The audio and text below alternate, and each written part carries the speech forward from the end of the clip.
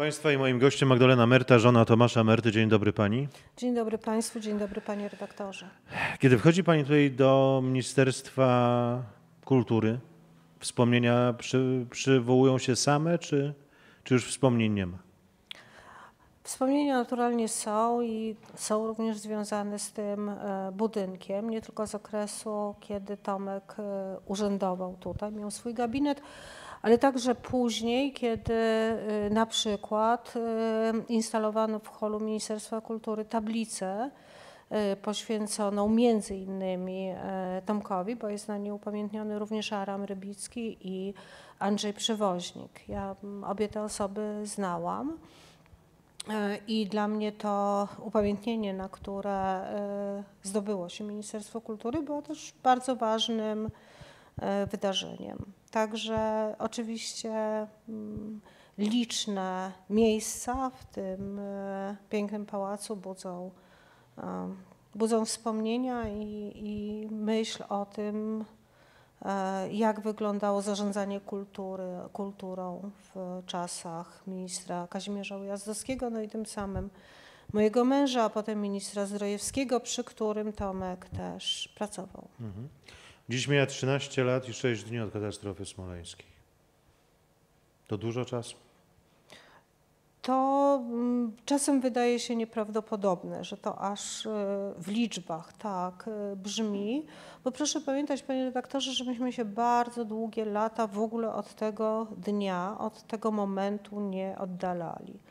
E, ja pamiętam, jak świętej pamięci Barbara Zakrzejska zadzwoniła do mnie w którąś tam rocznicę odległą już od, od 10 kwietnia 2010 roku i powiedziała, dzisiaj jest 10 kwietnia 2010 roku. Rozumie Pani, o czym mówię? Ja powiedziałam, że doskonale rozumiem, bo dla mnie też owego dnia, jakieś 6 lat po katastrofie, e, był 10 kwietnia 2010 roku.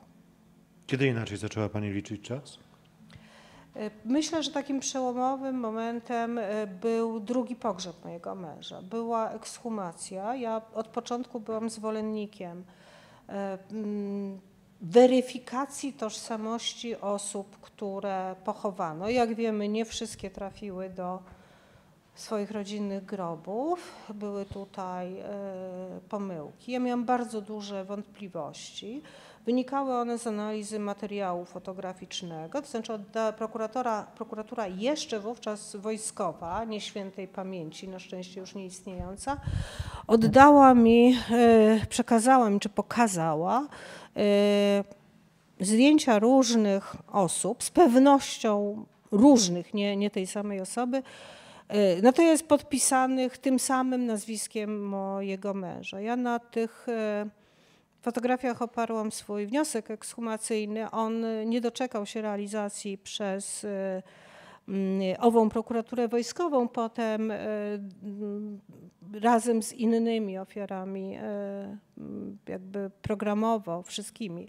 Tomek był ekshumowany ale to e, po pierwsze to, że mogłam z nim być. Mogłam z nim być właściwie od otwarcia grobu na cmentarzu po procedury prosektoryjne, a nawet przez e, procedurę przygotowywania go e, no, do trumny tak, w zakładzie pogrzebowym, ubierania go po prostu.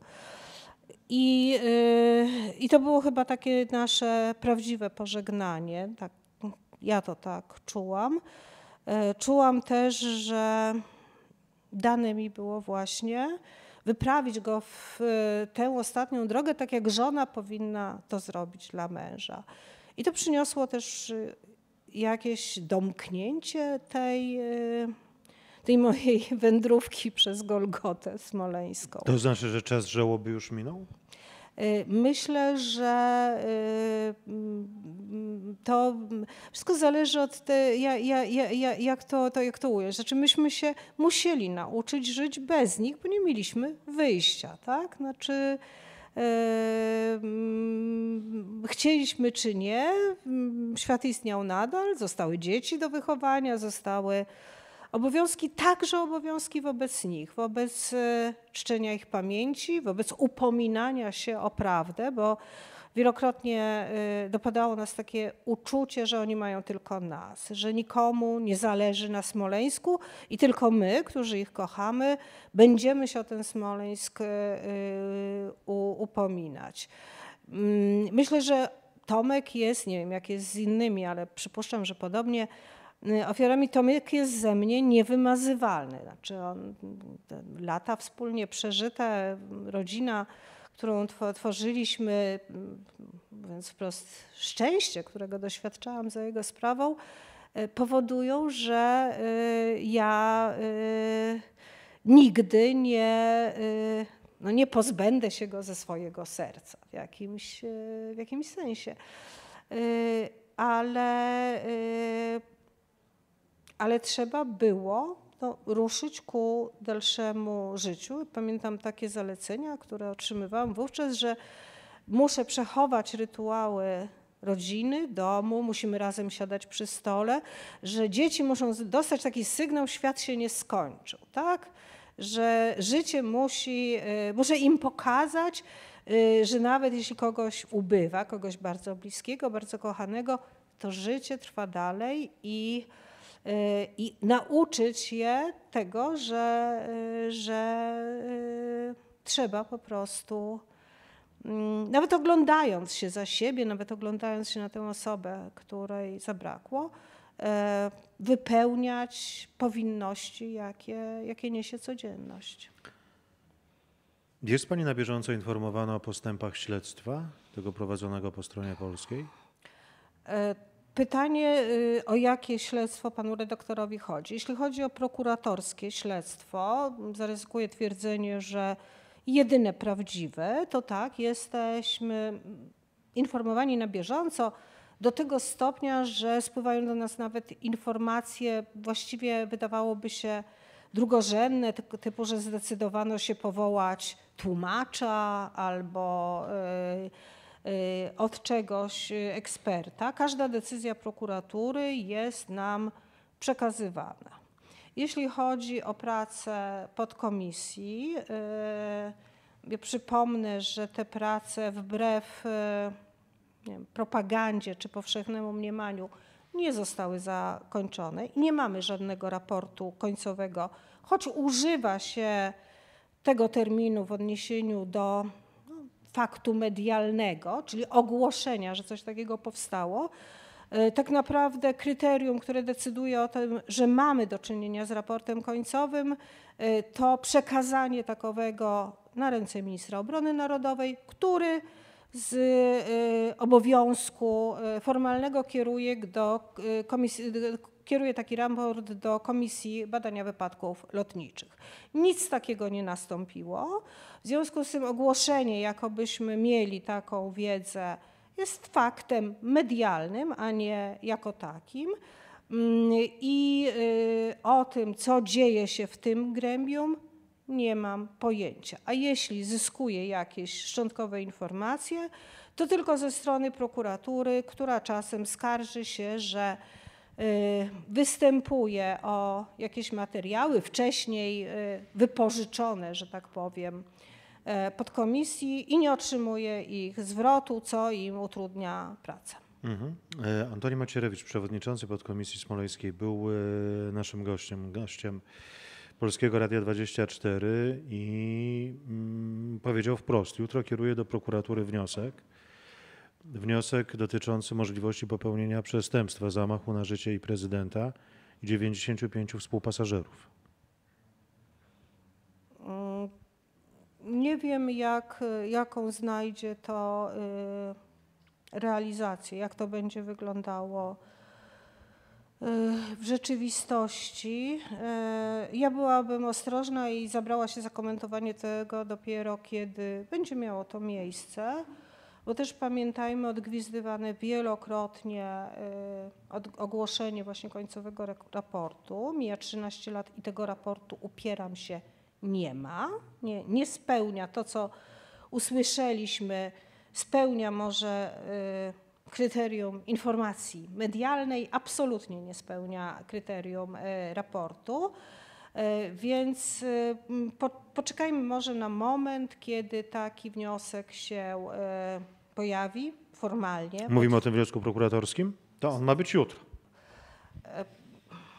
W takim razie jutro będzie ta data, kiedy będziemy mogli o tym rozmawiać. A na razie, na razie mamy zapowiedź złożenia, a nie złożenie, a 13 ostatnich lat nauczyło nas ostrożności w traktowaniu deklaracji. A ostatni rok, wojna na Ukrainie, czy ten fakt w jakikolwiek sposób otworzył oczy tym, którzy do tej pory mieli je albo przymknięte, albo na pewne rzeczy nie zwracali uwagi? Ja bym nie demonizowała e, tego przymknięcia oczu. Znaczy, e, nie istnieje coś takiego jak plebiscyt na prawdę. Prawda pozostaje prawdą, wszystko jedno, jak dużo ludzi w nią wierzy albo jak nie, nie wierzy. Przypomnę, że zbrodnia katyńska była e, mm, zakłamywana bardzo wiele lat. Więcej ludzi w nią, e, znaczy wierzyło w sprawstwo niemieckie niż sowieckie, że mm, no, kłamstwo to wpisywano w podręczniki szkolne, ale prawda o Katyniu się od tego nie zmieniała. Tak? I myślę, że, że No tutaj... tak, tylko ta prawda katyńska była przekazywana w, w niektórych domach i dzięki temu ona przetrwała. Tak, ale no, też y, y, to, że większość społeczeństwa wierzyła, że zrobili to Niemcy rok później, czyli w 1941 roku, nie powodowała zmiany rzeczywistości. I myślę, że tutaj wszystko jedno, czy ludzie mieli przymknięte oczy, czy przejrzeli na nie, czy nie, to pewne rzeczy tak czy inaczej rozegrały się w określony, prawdziwy sposób. Więc to, czy czy, czy to, że zwiększyła się liczba ludzi przekonanych o, o, o sprawstwie ro, rosyjskim, dla samego faktu y, w moim przekonaniu nie ma y, znaczenia. Tym, co może mieć znaczenie, jest deklaracja Władimira Żeleńskiego i tutaj wydaje mi się, że strona polska powinna mm, poprosić o doprecyzowanie tego, co, y, co prezydent Ukrainy powiedział, znaczy zapytać go, czy on ma taką intuicję, bo ma od roku wojnę i wie, kim są, A w podobnym kontekście w tej sprawie wypowiedział się już dwukrotnie. y, kim są Rosjanie, czy też on ma wiedzę. Jeśli te, ma tę wiedzę, to należałoby zażyczyć sobie od niego y, no, dowodów na to, co, co mówi, poprosić go o to. Y, Czy to jest taki właśnie bon mot y, obliczony na z, zdobycie przychylności polskiego, y, polskiego społeczeństwa? Znaczy na pewno y, oczekiwałabym od polskich władz, że y, poproszą y, pana prezydenta Żeleńskiego o doprecyzowanie tego, co mówił i też no, wy, wykazanie skąd to y, przekonanie w nim e, powstało. Magdalena Merta. Dziękuję Pani, dziękuję Państwu. Do usłyszenia. Dziękuję Państwu, dziękuję Panie redaktorze.